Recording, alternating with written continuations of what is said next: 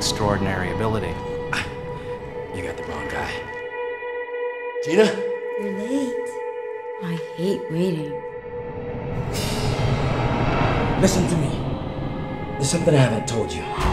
It's like sounds that I can make. I think I killed a guy. God. We just want to talk. No. You're gonna listen.